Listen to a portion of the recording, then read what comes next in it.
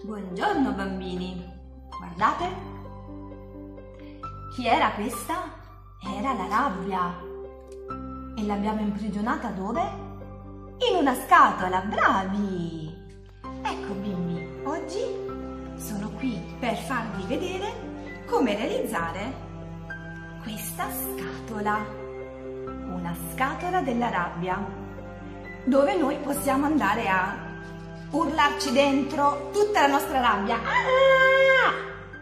Quando qualcosa non ci piace o qualcosa non, non va bene oppure siamo, siamo, arrabbiati con mamma, papà, con i nostri fratellini perché eh, ci hanno tolto un gioco, perché non ci hanno fatto riconoscere delle cose, perché non abbiamo, non abbiamo saputo dimostrare a loro quello che ci piaceva fare. Abbiamo deciso di urlare la nostra rabbia qui dentro e l'abbiamo chiusa.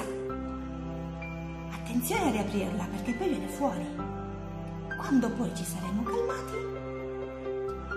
parleremo con i nostri genitori aprendo la scatola della rabbia e cercando di capire perché in quel momento ci siamo arrabbiati.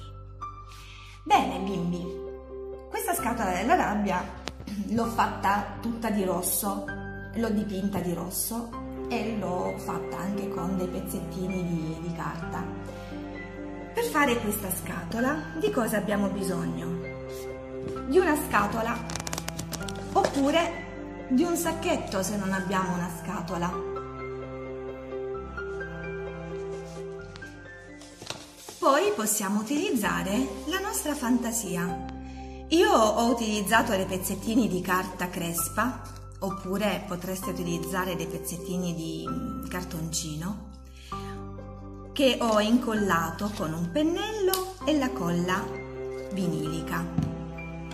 La colla vinilica che ha fatto la maestra Rachele, vi ricordate questa settimana?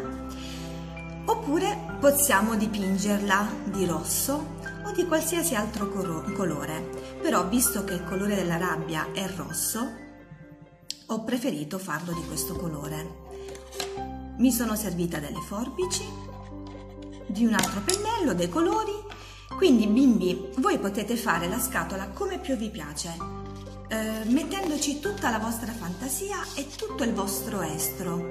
E genitori, mi raccomando, lasciateli liberi di fare quello che vogliono su questo loro eh, strumento, perché solo è loro e quindi eh, hanno bisogno di esprimere tutta la loro creatività facendo mm, una parte di se stessi, perché mh, mm, costruendo questa scatola loro fanno una parte di se stessi, un luogo dove poter metterci dentro tutto eh, il loro disagio e la loro rabbia.